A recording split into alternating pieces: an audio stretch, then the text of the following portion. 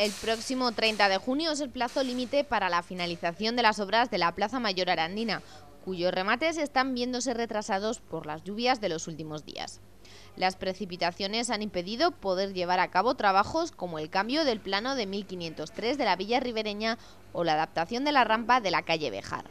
Unas obras para las que el Ayuntamiento arandino debe presentar justificaciones, por lo que la intención del alcalde arandino, Luis Briones, es que estuvieran finalizadas lo antes posible. Por otro lado, el miércoles se convocará a los comerciantes para que visiten, junto a parte del equipo de gobierno responsable de estas obras, las zonas de aparcamiento para seleccionar las plazas a pintar.